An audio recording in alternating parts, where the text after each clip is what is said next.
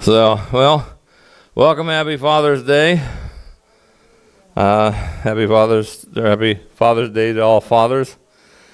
I just hope that uh, you will have a great time with your family, and your family will have a great time with you. So praise the Lord. We know there's a lot of fathers out there that aren't really good fathers, and that's a bad situation. So we pray that you have a good relationship with them, and if they're still alive, uh, ours have passed away already. So we just remember. We also remember our heavenly Father this day, and know that He's doing some awesome things right now, some fantastic things, tremendous things. Even in the chaotic moments that we're having, there's great things that are happening. So we just praise His name and worship Him. So. As I was thinking about today, one of the greatest war tactics the devil has is to remove the father from the home. It's one of the greatest tactics he can get is to remove the father from the home. Hate to say it, in our society there's a lot of fatherless homes. Causes great problems.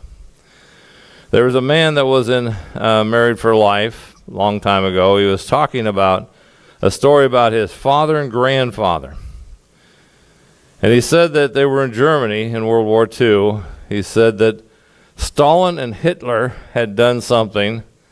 They took the gang members off the streets and said, We'll give you guns and we'll put you in the military and we'll give you authority and we'll give you uniforms and uh, you can do whatever you want to do. These are fatherless kids that are out there. And that became the Gestapo. The other thing was, he started to call the land the father country.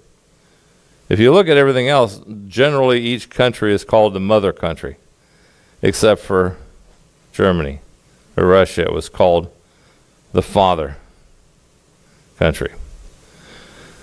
And the reason was trying to fill the void of the fatherless in those people and these young men that were there. We have so many people today that have fatherlessness, it's unbelievable. The void of the father is terrible.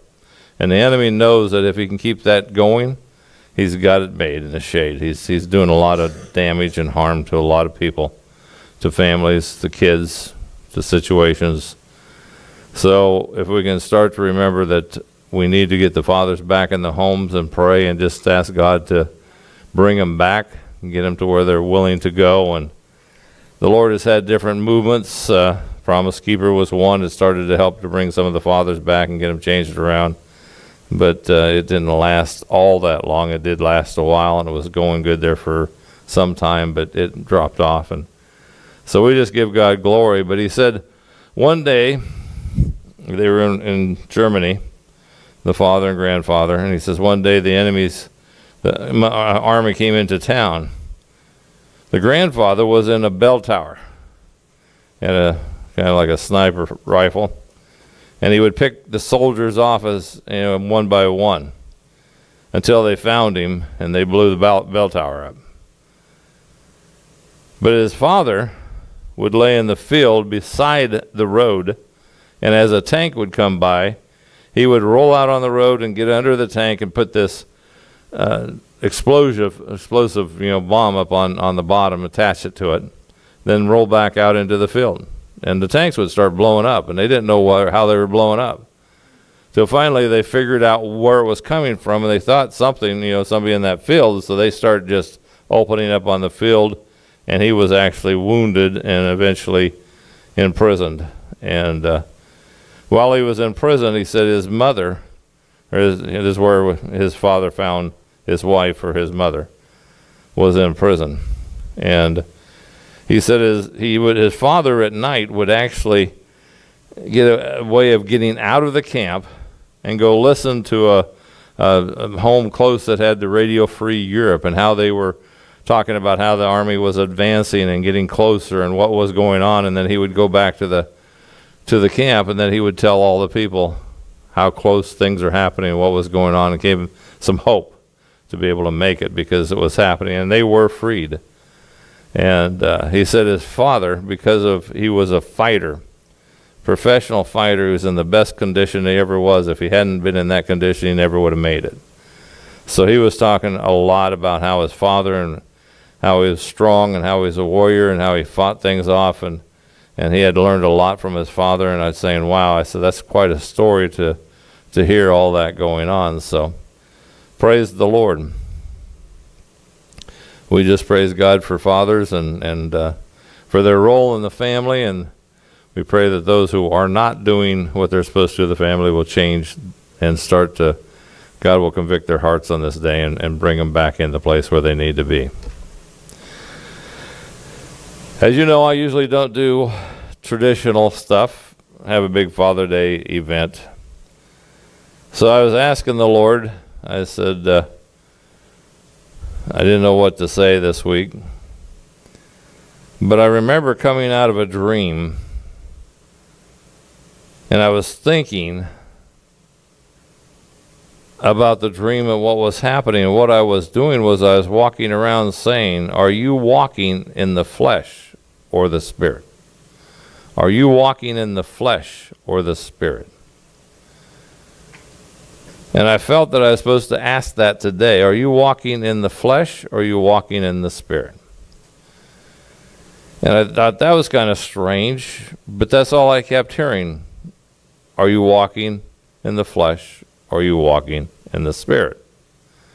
And I says, wow, that's an awful easy one to teach on. It won't be much. I'll just say it and done and over and gone from there. Well, the Lord kept hitting me.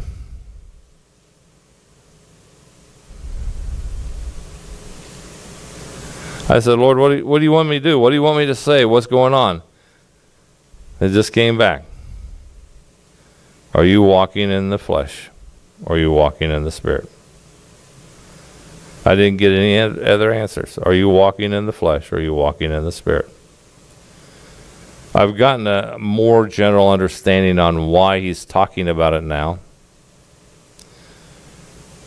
We need to make a decision on walking in the flesh or walking in the spirit. Which are you going to do? What is going to be more effective? Why is it going to be more effective? I went back to Second Chronicles 5 7, for we walk by faith, not by sight. Huh? Second?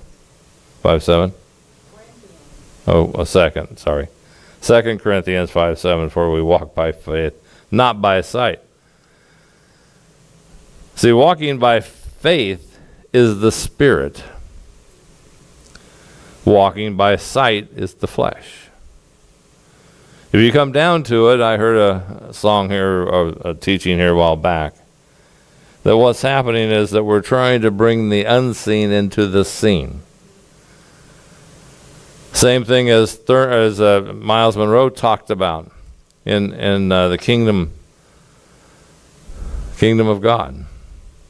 What happens is there's an unseen and there's a seen. And the unseen put the seen on the scene and the seen and the unseen was wanting the seen to bring the unseen into the scene and it kind of throws you all off when you get through going all this way. And i'm not for sure exactly how it was stated but it was uh, that close. So are you walking in the unseen or are you walking in the seen? Let's put it that way. Walking by faith or are you walking by sight faith is the things unseen the things hoped for Sight is the things that you see. I took and I put down here.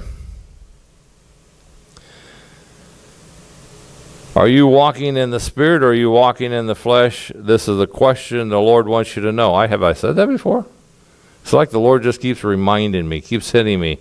You know, it's, it's like a song there's songs out there that you start to sing and, then later on you're driving down the road or you're doing something and all of a sudden that song pops back up in you and it is just going through your mind and it just kind of keeps reminding you. I think this is what the Lord wants to have done today. He wants to put in you, are you walking by faith or are you walking by sight? In this season, it's going to be so easy to walk by sight. Maybe not as easy to walk by faith because of the things that are happening, the things that are going to go on. See, when you're walking in the Spirit, you're walking in love. When you're walking in the Spirit, you're walking in love. Walking in the flesh, you're walking in your understanding, desires, wills, wants, etc.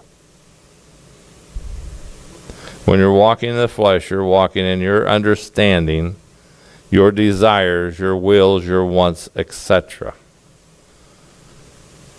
Most people walk that way. Very, very few people take and stop to see what the unseen would want to do in that situation. It is so easy to get into that going by sight and not by faith in areas. Times coming where we have to stand a lot by faith, by understanding. And you might say, well, that's kind of hard to do. I'm going to put it this way I like watching action programs. You put me around some other programs and I'll get lawed out. I'll just kind of like, uh, just kind of fall back here. Give me an action movie and I'll pop up again. Problem is, the action movies turned into too much violence. Today, you know, you used to watch A Team way back when. That was fun. He was always beating up the bad guys. They were always, and they didn't see much blood, and they didn't see many people being killed. It was just, it was good. It was, it was action, but there wasn't much violence. There was some violence, but not. I mean, even cartoons have some violence. But the fact is, it wasn't as extensive as it is today. But I'm still kind of watching some action programs, and they're getting more violent. Don't like the violence. The violence is not good. God hates violence. So the fact is, why are you still watching? Because I like to. Walking by sight, not by faith. Walking by sight, not by faith. But it surprised me. What really concerned what was going on, and this is why I'm saying this, is because one day I was watching an action show and I caught myself thinking, not saying, not wanting, I said, that guy's just going to cause you problems. Kill him, get rid of him. He don't need to be here anymore. Because if you don't, he'll come back and get you later. I've seen so many people have died and they come back and they kill them. I'm thinking, now wait a minute, don't turn your back on him because it's going, you know, because see, I've been watching this so much, it's starting to become a fruit in my spirit. It was planting those things in my heart. And that frustration was starting to come up through me. It didn't come out of my mouth. What's in the heart comes out of the mouth. Didn't come out of me, but it was in my thought. And I says, uh oh, I got a problem. I have a problem. Why am I thinking that? I've never thought that in my life. I've seen this all the time in my life, and I've never once had that thought. See, there was a planning of what I was seeing going into my heart. Many times I watch some of the action movies, and my heart is singing. It's singing some of these songs. Guys are going to get the praise. The guys are shooting each other. Guys are going to get the praise. I mean, there's a war going on between my spirit and my flesh and I'm sitting here, I'm joining the flesh, but the Spirit's saying, You ain't doing things right. Get back into the move. Come on, move back into where you're supposed to be because the Spirit's crying out inside of me, and I'm still watching my flesh. I'm dealing with this issue. Lord's dealing with me. He's hitting me, but that's the way it is. That's that war.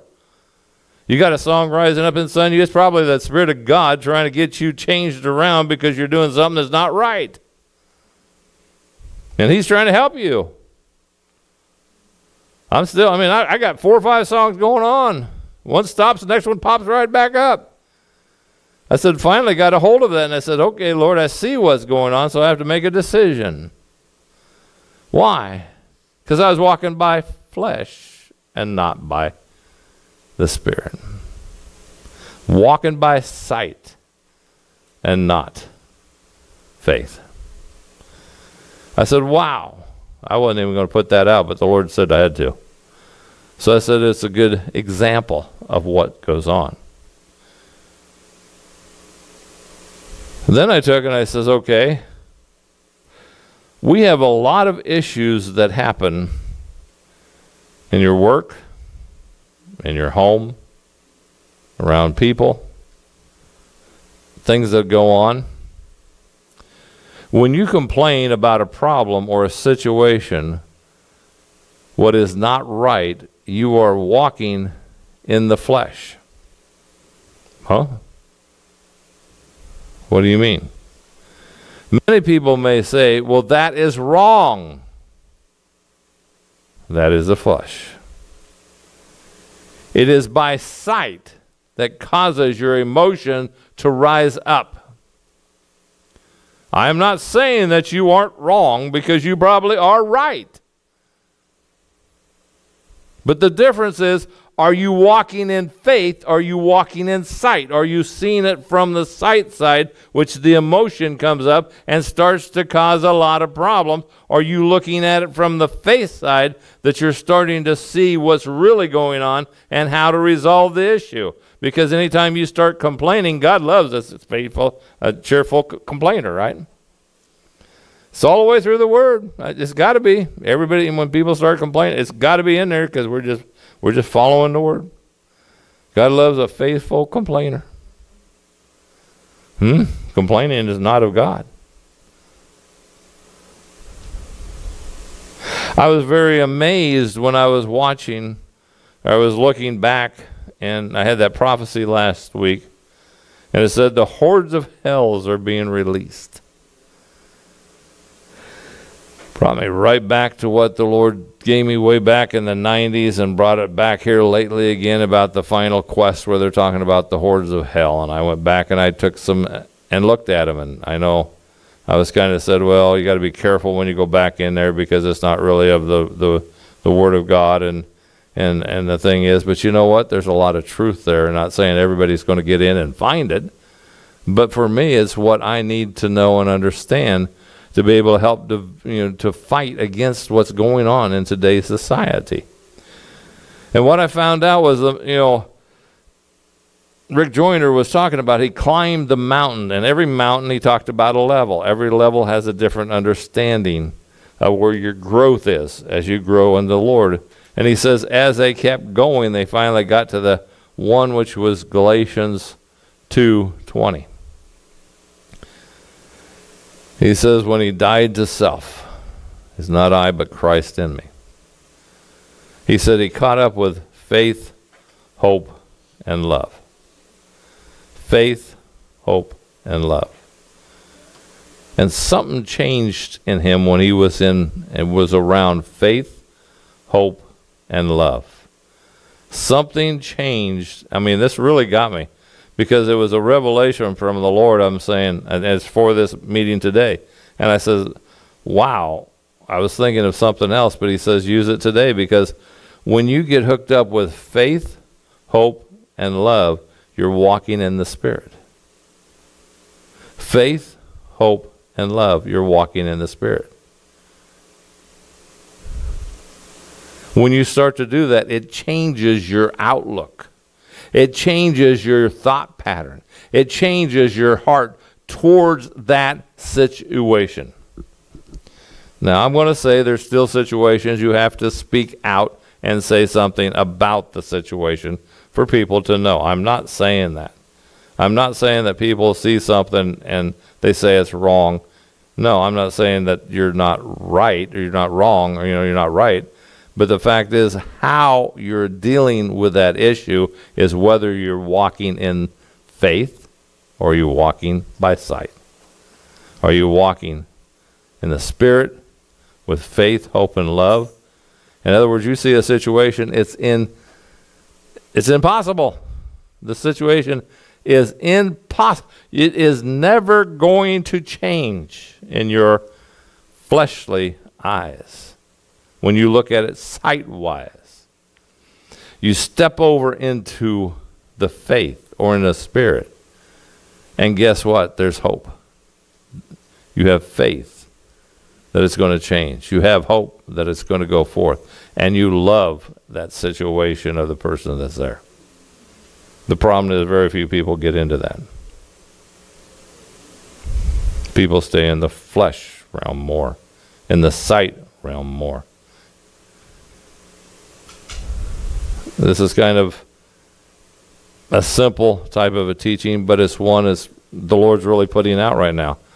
As the the all of the things that are happening in the world today, think about it.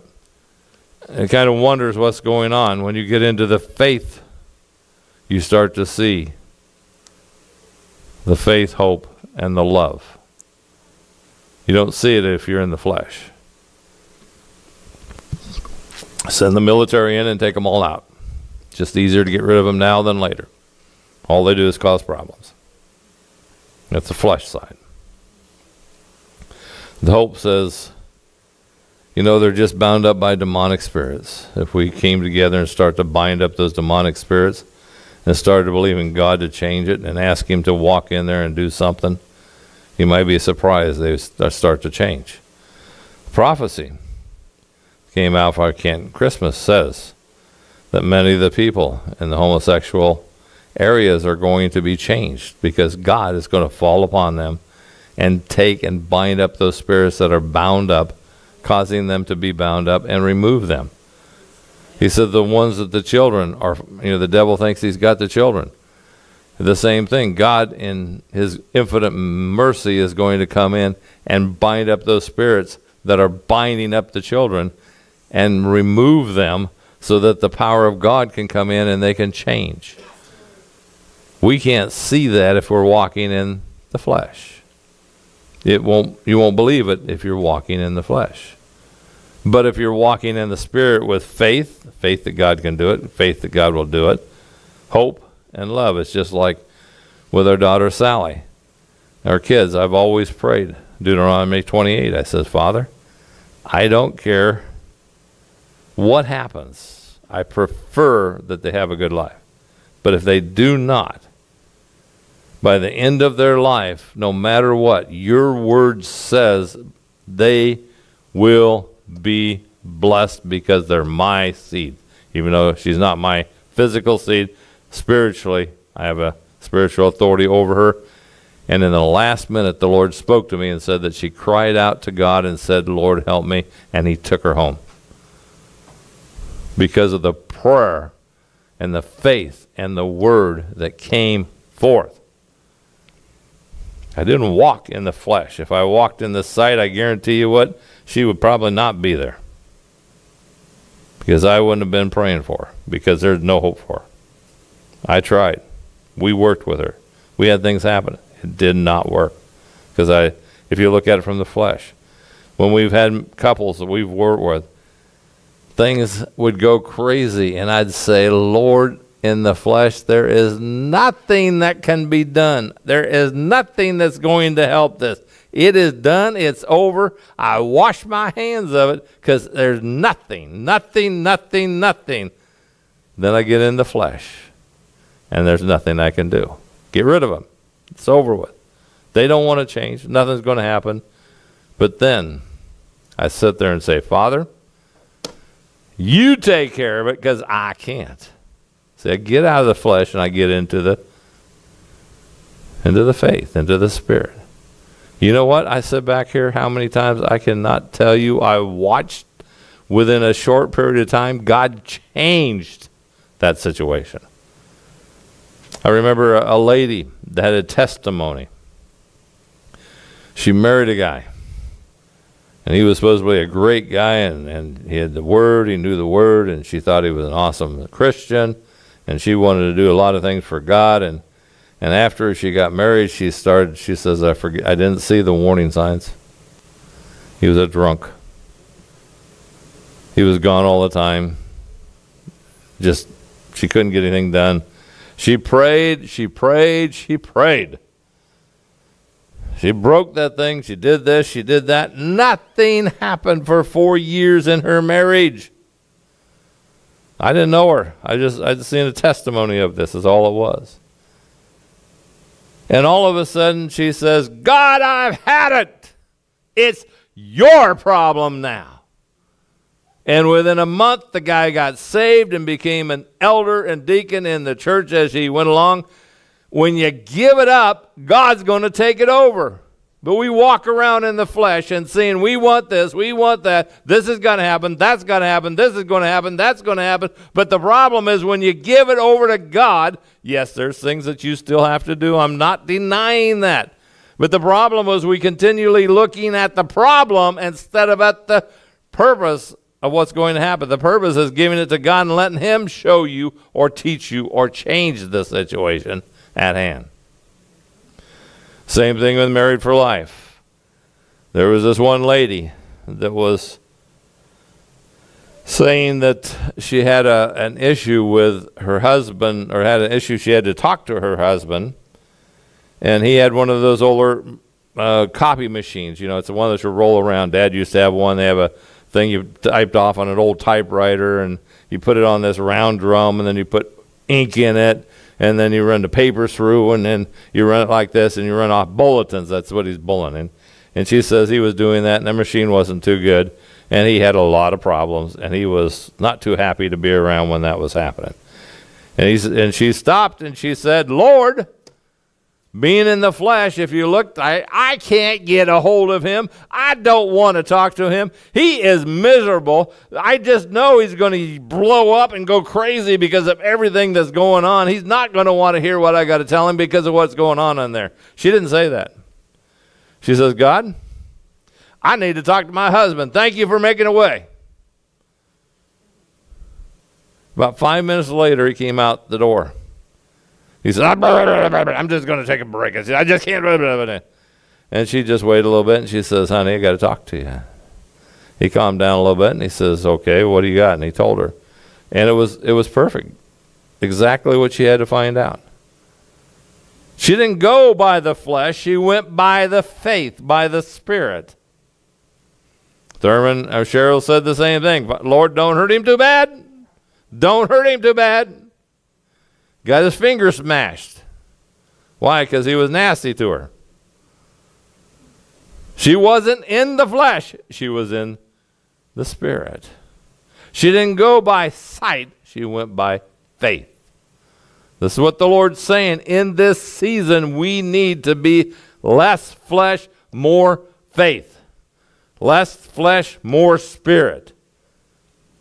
Quit looking at the things that need to be taken care of and start asking God, how are you going to do this? Or how do you want me to interject to do this? That's what this is all about today. I said, wow, this is interesting, Lord. I don't know how this is going to come out because I knew He was going to have to do it. Then, and I'll tell you another thing. I wouldn't normally say this, but I got a bag on my leg, which is for urine because I still have my catheter. What happened was the bag filled up. I have not had a day for the last month of having the the bag ever fill up in one day. It's only about a fourth full. Today I was sitting there, didn't even notice it, and I got up here, and next thing I knew, it's full and ready to explode. And I'm thinking, now I gotta. I'm sitting up here, so I had to go in the bathroom. So I went in the bathroom, and as I started to open up the pit or the cockpit to, or the valve to drain it out, it broke. So I'm, now I'm sitting here to trying to drain this thing, and I can't. And if you don't, it goes up in your bladder and it hurts your liver.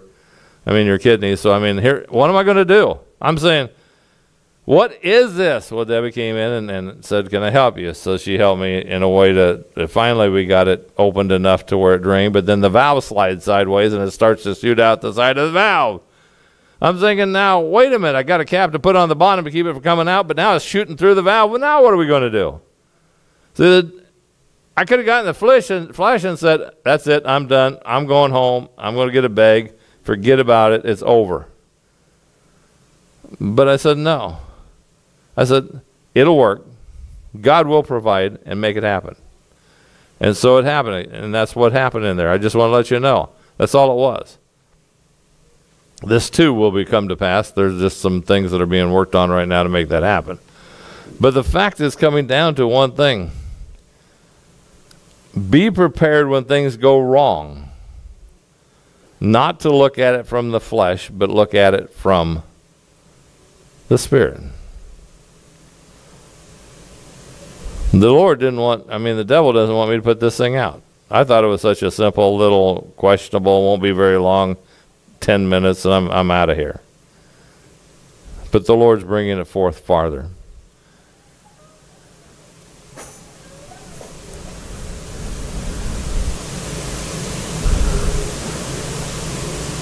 One of the examples that I want to use right now, and that is Pastor Stephanie Moody, Apostle Stephanie Moody came here to train the leadership.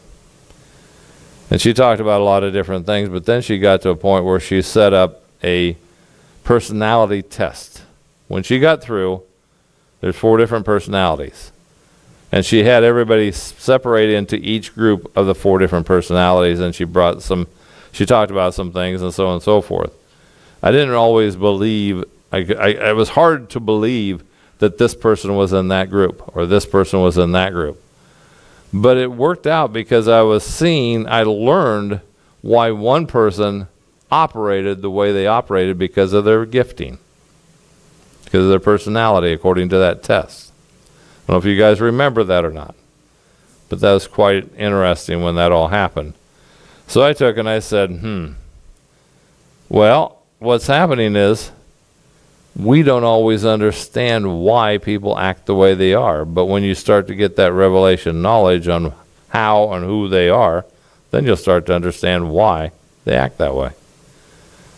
That's also walking from, you know, when you start dealing with a lot of people, you have a lot of different viewpoints. You have a lot of different thinkings. You come up from the different nationalities, from the different, you know, ways that you grow up, from all the things that happen in your life everything, and, and everybody can come up with a different viewpoint. I mean, I've talked to one person, didn't say much, and they never came back, and I, and I finally found out that I offended them. I didn't even know how I offended them. There should have been no offense, but they were already offended. And boom, it was they were gone because of that offense. And I'm thinking, what are you going to do with that? That's hard. So you just turn them over to God and let God deal with the issues. So I mean, it's one of those situations that you, when you start to understand and you start to walk in the spirit more than the flesh, you're going to see things. And that's why we talked about um, Abraham and Sarah. And it said that both of them laughed and they analyzed, they calculated, and they came up with an answer. And the answer was this. That is the biggest obstacle they have to overcome to receive the promise of God. If you can't get past that obstacle that your mind comes up with, you're not going to receive the promise of God. So the more you overcome the thinking that your mind is saying, which is the flesh, by seeing things, and you start to go into the Spirit and you allow the, the Lord to show you the truth through the Word of God, through whatever's going on, I said it's a, a tremendous thing. I've heard many people say that they see me up and walking. They've, they've seen, they know I'm going to be healed, and I agree 100% I am.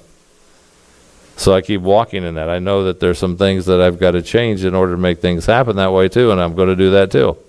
So the fact is, the Lord, when I start getting out of the the flesh, just seeing what's going on and moving into the spirit, God's going to give me more of the abilities to change and to do and and to come where I need to be.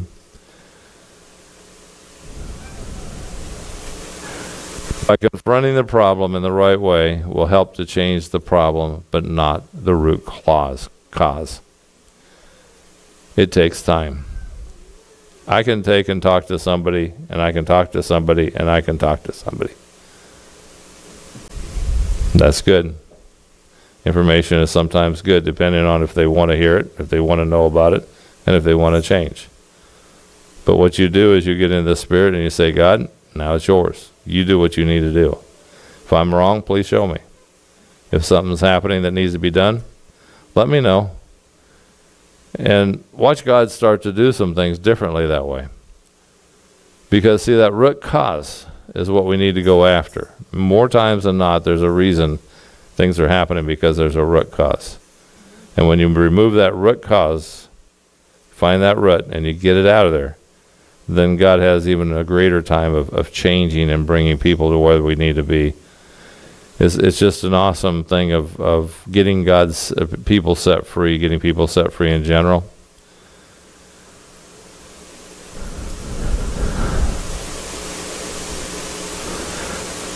So I just want to say what the Lord's word today is on Father's Day is are you walking in the flesh or are you walking in the spirit? The Lord desires that you work in the spirit. The more in the Spirit, the less problems that you're going to have. Did I say you're not going to come and have, you're not you're going to have any problems? No, you'll still have problems, but the less you worry about your problems, the less you're concerned about your problems, because you start to allow the Spirit of God to move on those problems and change them. So praise the Lord. I pray this word goes forth. It, it kind of goes along with the two examples about the pathway and and also being unplugged because it all is working. I mean, I was sitting there saying, Lord, I understand that. And then when this thing happened, I'm thinking, yeah, the devil doesn't want this to come out. He doesn't want you to think about walking. So simple. So simple. What's wrong, Lord? Oh, you're just walking in the flesh. Get out of the flesh, get in the spirit. Watch what I can do for you. That's simple. Sometimes we don't always look at it that way. So, Father, in the name of Jesus, we come before you. We thank you for this blessed day. We ask for each and every one to be blessed on this Father's Day. We pray that all fathers will have a good time of being with their children and and just uh, enjoying enjoying them, Father. We thank you, Father. There are many children out there that are fatherless, and we ask, Father, that you will step in and and fill in that spot through your, your love and your peace and your joy by your Holy Spirit. We pray that people will come in to help under help them to achieve that as well. We pray, Father, that uh, the families, the marriages will come back together and start to be even more proficient in doing what we're supposed to be doing. We thank you, Father, for this beautiful time together. We ask, Lord, that you will continue to move this day we give you full glory, honor, and praise in all things. In the name of the Lord Jesus Christ. Amen.